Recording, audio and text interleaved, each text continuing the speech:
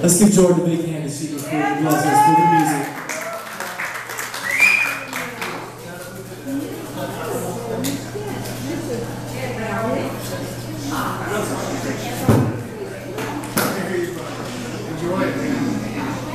Oh,